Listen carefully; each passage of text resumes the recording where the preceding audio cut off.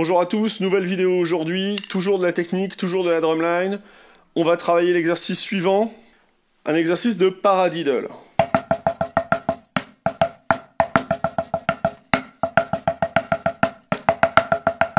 Pour les Américains ou les Anglais, le paradiddle, paradiddle,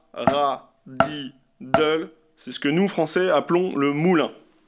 Et dans cet exercice, vous aurez à la fois du paradiddle à droite, du paradiddle à gauche, mais également du paradiddle diddle, qui est un euh, moulin, mais sur trois croches, un moulin ternaire. L'exercice se divise en trois parties. La première va être binaire. 1, 2, 3, 4, paradiddle, paradiddle, paradiddle, paradiddle. Puis la même chose sur deux temps. La deuxième partie de l'exercice va être ternaire. Droite, droite, gauche, droite, droite, gauche, paradiddle, diddle, paradiddle, diddle. Et la troisième partie de l'exercice, ça va être la même chose à l'envers. Gauche, gauche, droite, gauche, gauche, droite, paradiddle, diddle, paradiddle, diddle. N'hésitez pas à mettre cette vidéo en pause et à reprendre chacune des phrases le temps nécessaire pour bien les assimiler. Enfin, l'exercice se termine par un récapitulatif. Binaire à droite, ternaire à droite, binaire à gauche, ternaire à gauche. Binaire à droite, droite, gauche, paradiddle, paradiddle. Ternaire à droite, droite, droite, gauche, paradiddle, diddle, droite, droite. Binaire à gauche, gauche, droite, paradiddle, paradiddle.